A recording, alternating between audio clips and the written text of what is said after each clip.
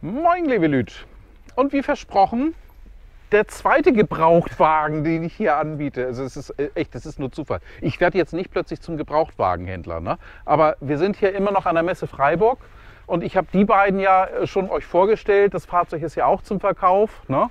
Äh, einfach, ich fand das Auto so toll und bin rübergegangen und bin mit denen ins Gespräch gekommen und dann kam so raus, ja Mensch, äh, sie ist schwanger, die Stefanie. Es muss jetzt dann irgendwo was passieren, wir brauchen mehr Platz. Und ich sage, Mensch, dann mache ich für euch eine Rumtour, dann zeige ich das. Und wie das dann immer so will, über Nacht kamen dann noch die nächsten, die haben sich jetzt daneben geparkt, hier mit dem T6. Und die kamen dann mit den beiden ins Gespräch und dann ging es los so, machst du mein Auto auch noch?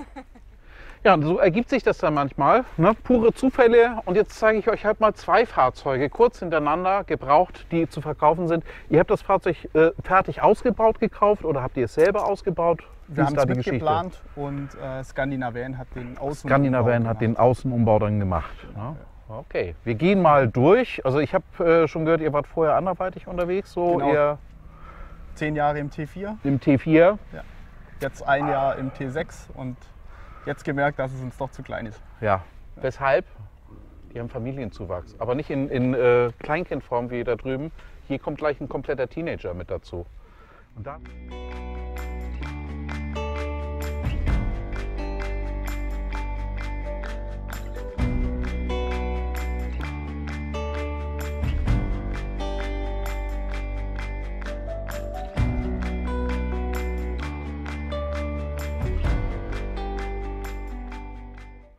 Und da sind natürlich, äh, kann die demnächst auf den Kopf spucken oder so, ne? Absolut. Äh, da ist natürlich dann auch der Platzbedarf ein anderer und deswegen ist auch dieses Fahrzeug dann jetzt zu verkaufen. Wir gucken uns ihn aber jetzt erstmal an. Okay, außen machst du, drinnen macht sie. Wie heißt du? Easy. Und wie heißt du? Basti. Basti. Basti und Easy. Basti zeigt mir jetzt erstmal außen rum.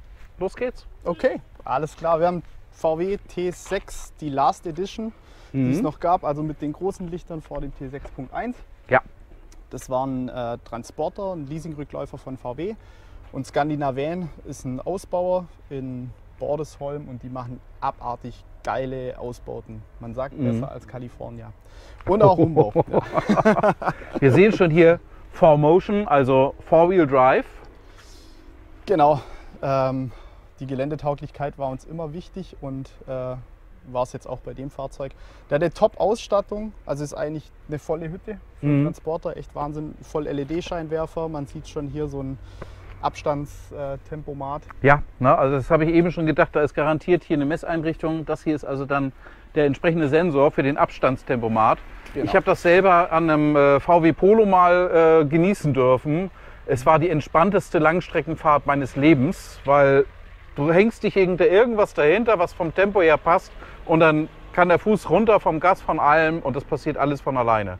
Ich habe es auch mal tatsächlich ausgetestet, dass ich gesagt habe, so greift der wirklich ein, wenn es eng wird. Habe also den Fuß über der Bremse gehabt und habe es dann wirklich mal dicht rankommen lassen. Aber lange bevor bei mir irgendwo dann der Warnbereich gewesen wäre, jetzt muss ich wirklich bremsen, sonst passt es nicht mehr, hat das System schon längst sauber und sicher eingegriffen. Das ist also wirklich, da ist VW richtig gut drin. Absolut, ja. Also ganz entspanntes Fahren Ja. auf langen Strecken. Schnorchel habt ihr euch auch mit für entschieden?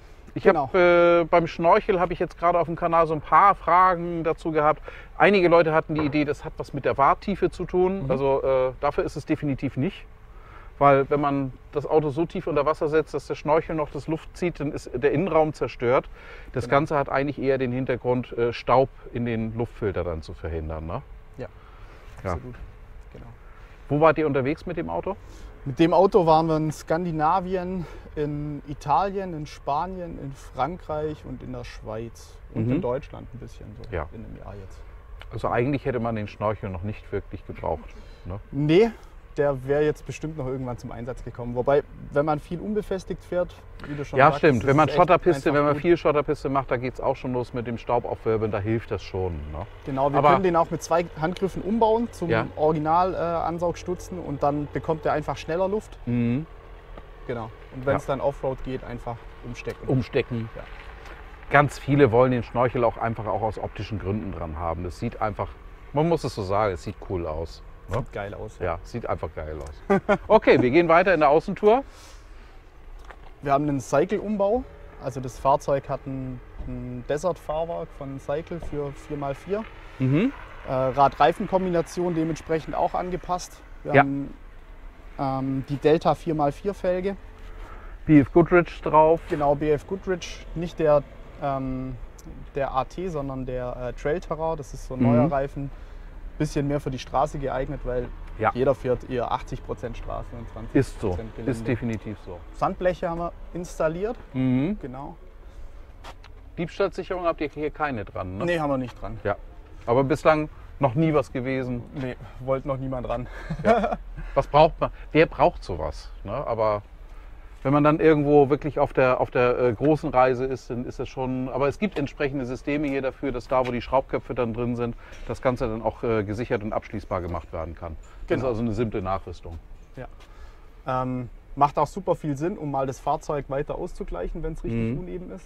Ja. Oder um ja. jemandem auszuhelfen mit einem Zweiradantrieb, der vielleicht nur auf einem Stellplatz nicht mehr rauskommt. Also So ich zum Beispiel. Ne? Also Ja. schwarzes Schaf, Two-Wheel-Drive. Denkt an Wacken. Ne? Äh, ich bin aus eigener Kraft reingekommen. Wäre nicht aus eigener Kraft rausgekommen. Äh, erst als es abgetrocknet war. Hubdach haben wir oben drauf mit Dachgepäckträger. Ich gehe mal ein bisschen hoch, dann könnt ihr den auch mal von oben sehen. genau, das ist jetzt eine Spezialanfertigung, der Slimline von Frontrunner. Mhm. Und der ist eigentlich Da steht's, Frontrunner. Nicht für dieses Aufstelldach gedacht, sondern eher wird der eigentlich mittig platziert. Mhm. Und das funktioniert hier wunderbar, ist auch TÜV abgenommen. Ähm, wir haben eine Solaranlage auf dem Dach, zwei ähm, Handgriffe mit LED-Spots zum Ja. Beladen oder zum Einparken, wenn es mal wirklich Hier sehen wir die. Seitenscheinwerfer, die LED-Spots und das ist dann auch gleichzeitig der Handgriff, genau. Äh, Watt Peak-Leistung von den Solarpanels? Ich glaube, das ist eine 100er, aber Ja.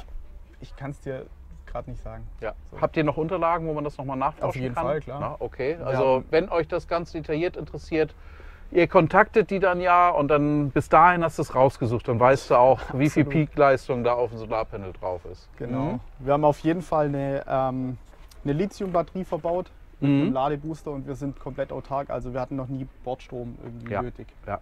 Funktioniert auf jeden Fall das Teil. Mhm. Genau. Dann haben wir zwei Schiebefenster rechts und links. Ja. Super für die, für die Belüftung und auch untypisch gibt es eigentlich nicht so oft. Mhm. Und die Klim-Air-Windabweiser, wie beim schwarzen Schaf. Ich liebe meine Klim-Air-Windabweiser. Es ist einfach toll. Es macht viel mehr Spaß als so Klimaanlagenluft, wenn man dann an einem heißen Sommertag das Fenster aufmachen kann, komplett runter und es kommen kaum Verwirbelungen in den Innenraum und es wird auch nicht so laut, wie man das sonst denken sollte. Dafür sind diese Teile echt toll. Und bei Klim Air, die Dinge haben eine ABE. Das kann euch, da kann euch keiner was. Ganz viele haben einfach im Anbau dann auch mal eine dran, die keine Abnahme hat. Es wird irgendwo ja mehr oder minder geduldet, ignoriert. Der TÜV sagt oftmals gar nichts. Aber im Schadensfall, wenn das irgendwo eine Rolle spielt, dann kann das schon Diskussionen geben. Also Klim Air ist da wirklich im Vorteil. Die haben nämlich ABEs dafür sich extra machen lassen. Ja, hier hinten sehen wir es auch schon, ne, zu verkaufen. T6 Offroad Camper von Cycle, autark. Und das hier könnt ihr jetzt mal versuchen, ob ihr das vom Display direkt einscannen könnt. Dann kommt ihr direkt auf die Verkaufsanzeige. Aber jetzt gehen wir erstmal aufs Heck ein. Ne, ihr habt eine Heckleiter dran. Das ist jetzt keine Klappe, sondern der hat Flügeltüren Ja. fürs Heck. Finden wir ganz praktisch. Ähm, wir haben es so genommen, wie es war, aber es ist wirklich geil. Also wir finden es klasse, wenn man irgendwo rückwärts einparkt, man kommt immer hin. Ja, Mit dem Fahrradträger kommt man auch besser hin als Ja. mit der Klappe. Funktioniert einfach. es gut. geht, äh, man braucht auch hinterm Fahrzeug nicht so viel Platz. Ne? Genau, man ja. braucht einfach nur die Hälfte der, der äh, Weite, um dann irgendwo diese Tür einfach nur auffliegen, äh, den, den Flügel öffnen zu können. Äh, ist wirklich praktisch im Alltag. Ich habe auch mal einen, der, der äh, Schiffsdiesel, den ich mal gehabt habe, T4, 2,4 Liter Saugdiesel, der war auch mit den Klappen und irgendwo habe ich das eigentlich geliebt. Der T4, den ich danach hatte, der hatte das normale Dach, hat dann den Vorteil, dass man Regenschutz hat. Aber Genau, ja. man braucht mehr Platz. Ne? Ja. Rückfahrkamera? Klar, ja. Ah, Rückfahrkamera da, da ist sie versteckt. Ne? haben wir am Start. Genau. Wunderbar. Die Leiter von Frontrunner ist auch ein Spezialumbau. Die gibt es eigentlich nur für die Klappe. Mhm. Wir haben sie jetzt Hat er dann entsprechend angepasst. Genau, ja. Ja. Da macht er wirklich geiles Zeug. Ein Reserveradträger haben wir am Start mit einem Originalrad. Mhm. Genau. Komplett mit Delta-Felge. Ne? Original wie die Bereifung, die jetzt auch montiert ist. Ja. Auch hier Schiebefenster auf der Seite. Und ich glaube, wir kommen allmählich in den Bereich, dass ich dir das Mikrofon klaue Ah, alles klar. und das rübergeht.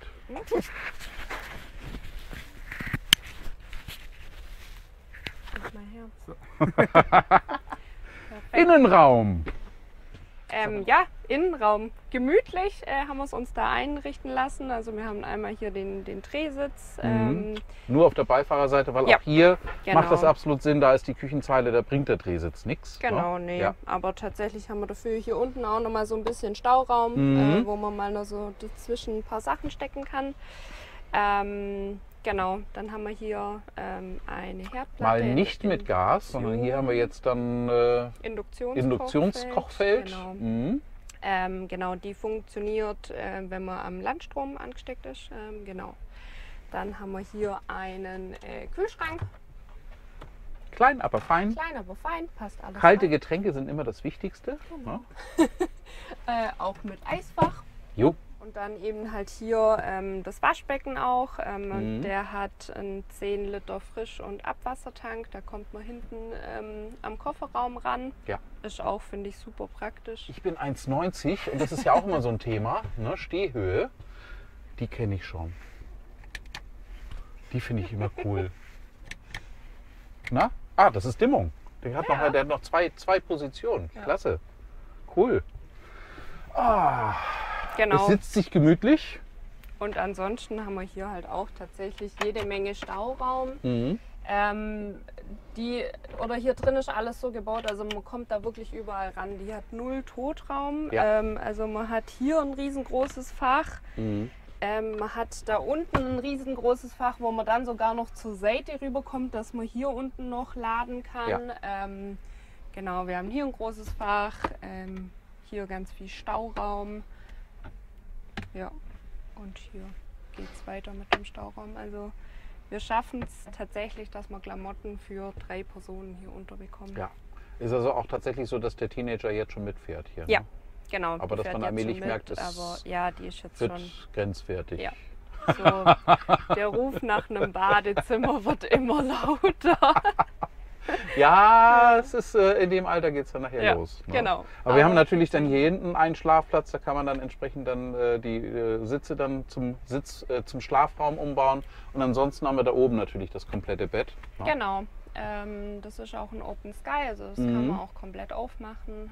Ähm, ja, und hat sonst ähm, hier zwei mit äh, Fliegengitter und Ja. vorne ein Fenster noch, ähm, genau, Zum Rausgucken. zum Rausgucken. Genau. Zum auf den See gucken. zum auf den See gucken. Ist ja alles Vanlife. ne? Wir stehen immer so. Wir kriegen also immer den Genau, Stellplatz immer direkt am oben. See, äh, ne, malerische Kulisse oder direkt am Strand. Das, also ich habe es noch nie anders erlebt.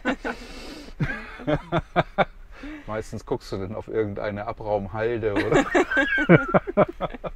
okay, äh, wenn du jetzt ganz dicht an ihr Mikrofon rankommst, Ja. ne, könnt ihr euch ja vielleicht so äh, nebeneinander einfach da hinsetzen. Ach so, ja. Ja. Und du redest ein bisschen in ihre Richtung, äh, ne, vom Mikrofon her. Wir haben jetzt ja natürlich noch die technischen Daten. Äh, das Fahrzeug da drüben, das ich euch letzte Woche vorgestellt habe, da haben wir gehört, Motor revidiert. Da spielt sowas wie Kilometerstand und Baujahr nicht mehr jetzt die große Rolle. Ne? Das ist einfach ein Fahrzeug, das ist ein Klassiker. Der hat einen entsprechenden technischen Zustand, der da zu bewerten ist. Den muss auch jeder individuell bewerten. Bei euch ist es anders. Das Auto ist deutlich jünger. Hier Genau. kommt natürlich dann immer die Frage, wie alt, wie viele Kilometer, welche Leistungsstufe und so weiter. Und das darfst du jetzt nochmal in Isis äh, Mikrofon reinsprechen. Alles klar.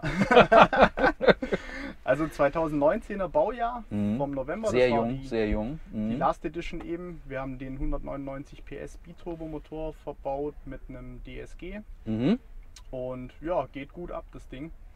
Ja, ansonsten zum Zustand her, der ist neuwertig, nicht, Ja. aber hat ein paar kleine Also ich habe selber eben gerade geguckt und ich will aber natürlich so eine Videorunde dann nicht irgendwo damit äh, äh, dann auch äh, kaputt machen. Es gibt durchaus mal die eine oder andere kleine Delle. Ne? Das ist, ist einfach, das Auto ist benutzt worden, dafür ist es auch da.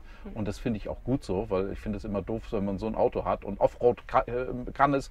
Und nein, nein, ich benutze es aber nicht. Das soll ja, soll ja Werterhalt. Wofür kauft man es dann? Ne? Also äh, finde ich absolut okay. Dann habt ihr natürlich eine Verhandlungsbasis. die ihr dann da irgendwo in den Raum stellt. Da reden wir auch ganz, sonst nicht weiter drüber. Wer dann vor Ort kommt, sich das Auto anguckt, sich ein Bild von den Dellen gemacht hat, der kann dann mit euch darüber sprechen. Wo Genau. liegt die Verhandlungsbasis? 79.000 VB. 79.000 VB. Auch hier müssen wir natürlich dann auch äh, einen Kontakt herstellen. Über mich läuft da nichts. Also schreibt jetzt nicht mich an. Äh, dann hätte ich viel zu tun, da immer das alles weiterzuleiten. Äh, ihr gebt mir eine E-Mail-Adresse, über die das Ganze dann läuft. Und diese E-Mail-Adresse, die werde ich dann jetzt hier unter dem Video einblenden. Und auch in der Videobeschreibung findet ihr die natürlich. Dann kommt ihr an die beiden heran und könnt euch dann mit denen austauschen, wie man das Fahrzeug mal besichtigen kann. Wenn euch dieses Video gefallen hat, und das ist jetzt auch wirklich das letzte, also ne, es kommt jetzt kein Teaser von dem nächsten Auto, von dem nächsten Auto. Es war purer Zufall, dass wir jetzt die beiden Autos direkt nebeneinander hatten. Und ich werde kein Gebrauchtwagenhändler, definitiv nicht. Aber wenn euch das Video gefallen hat, lasst mir ein Like da, lasst mir ein Abo da. Wer nicht abonnieren will, ist nicht weiter schlimm. Aber ihr verpasst keins meiner Videos mehr und ich freue mich über jedes eurer Abos. Bis zum nächsten Mal. Euer Michael. Und Easy. Tschüss. Ciao! ciao!